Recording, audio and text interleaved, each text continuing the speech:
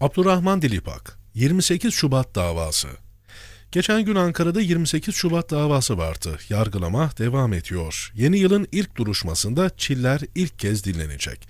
Aslında iddianame FETÖ'cü bir savcı tarafından hazırlanmış. Son derece yetersiz. Sadece Batı Çalışma Grubu'nun faaliyetleriyle sınırlandırılmış bir dava. İddianameden müştekiler de şikayetçi, sanıklar da. Bu iddianame çerçevesinde görülecek davadan çıkacak sonuç ne olursa olsun bu kimseyi tatmin etmeyecek. Kamu vicdanını tatmin edecek bir dava için kesinlikle yeni bir iddianameyle bu davanın yeniden görülmesi gerek. Belki yeni bir ek iddianameyle dava sil baştan görülebilir. Sanıkların bir kısmı sanki 28 Şubat olmamış ya da 28 Şubat'ta hiçbir şey olmamış gibi davranıyor. Sanık avukatları da öyle. Mantık şu, bugün iktidar nasıl FETÖ ile mücadele ediyorsa biz de o gün FETÖ ile mücadele ediyorduk ve bu dava FETÖ'nün amaline hizmet ediyor. Ortada bir de Ergenekon balyoz rezaleti var ya, onu da kullanıyorlar, daha doğrusu kullanmaya çalışıyorlar. FETÖ ile mücadele ederken yakıp yıktıklarından söz yok tabii rejimi koruyorlar ya, gayeye giden yolda her şey meşru. Benim ifademdeki sözlerim sebebiyle beni suçluyorlar, nasıl kendilerini suçluyorum diye. Kendileri suçsuz sütten çıkmış ak kaşık. Çevik Bir'in hemen her hafta yaptığı suç duyuruları ya da mesela Dünya Sigarasız Günü sebebiyle yazdığı bir yazı var. Bugün sigara içmeyen sigara parasını İHH'ya mazlumdere verin diye. İzinsiz yardım topluma kampanyası düzenlemek iddiasıyla İHH ve Mazlumder'in hesaplarına el koydular ve beni mahkemeye verdiler. Ben de Kemalistlere çağrı yaparak bugün Atatürkçü Düşünce Derneği ve Çağdaş Yaşamı Destekleme Derneği'ne yardım edin dedim. Banka hesap numaralarını da verdim. Ne dava açan oldu ve ne de bu hesaplara el koyan. İşin böyle komik yanları da var. Tabi Medine Bircan'ın ölümüyle bunların hiçbir alakası yok. O başörtüsü zulmüyle de. Hakkımda 500 yıla varan ceza istemiyle dava açılmış, günde 5 kez haftada 5 gün mahkemeye çıkıyorum, hiç mahkum olmamışım ya, yine suçluyum. Erkaya davası, askeri mahkemedeki Cuma dergisi, 312 general davasının geldiği noktayla ilgili anlaşılan durumu kendileri de anlamış değiller. Hiçbirinden kendileri suçlu, sorumlu, ihmal ve kusuru olan birileri değil. Bu zalimler FETÖ'yle mücadele ediyoruz derken İslam'a ve Müslümanlara karşı topyekün bir savaş başlattılar. Gerekirse silah kullanacaklarını da söylediler. Bu ifadeler gazete manşetlerine taşındı. Şimdi çıkmış diyorlar ki darbe yok, hükümet istifa etti, yeni bir hükümet kuruldu.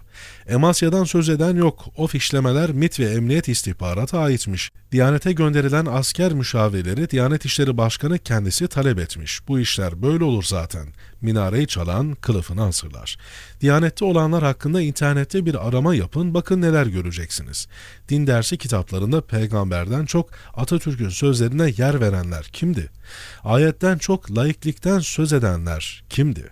Bu başörtüsü zulmü neyin nesiydi yahu? Tabi rejim tehlikedeyken Türk Silahlı Kuvvetleri seyirci mi kalacaktı? Durumdan vazife çıkartacaklar, rejimi koruma ve kollama refleksiyle hareket edeceklerdi. Şimdi diyorlar ki bu suç örgütü üyesinin iddianamesini esas alarak bizi yargılayamazsınız. İyi de 12 Eylül'deki darbeci çetenin yaptığı anayasayı esas alarak siz nasıl bu işleri yaptınız böyle? Tamam bu iddianame de yenilensin. Evet bu anayasada.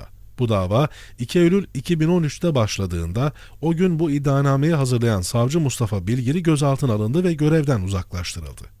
İyi işte o da yeni bir iddianameyle hatta aynı davada sanık yapılabilir.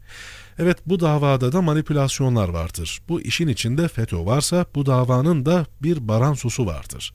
Suçluya da haksızlık yapılmasın. Ama Baransugilleri, bilgiligilleri bahane ederek, onların arkasına saklanarak Türk Silahlı Kuvvetleri'nin içindeki Batı Çalışma Grubu çetesinin siyasete, bürokrasiye, yargıya, basına, sermayeye, STK'ya, dindarlara karşı baskısı, estirdikleri terör göz ardı edilemez.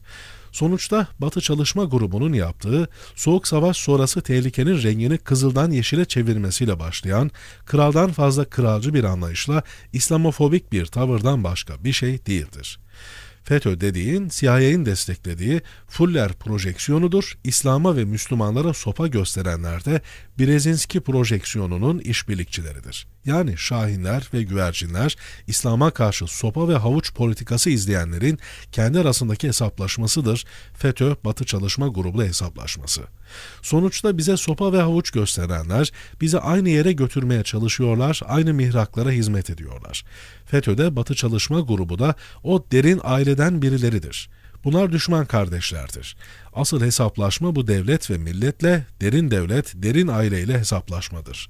Bu hesaplaşma devleti ele geçirmeye çalışan FETÖ Batı Çalışma Grubu'yla bugün devlet arasındaki hesaplaşmadır. 28 Şubat ve 15 Temmuz aslında kendi arasında savaşan ama aynı zamanda ikisini de ele geçirme çabası, daha doğrusu kendi aralarındaki rekabetin asıl sebebi olan devleti ele geçirme çabasıdır. Sözün özü şu, ben ve amcaoğlum savaştayız. Ben ve amcaoğlum ötekilerle savaştayız.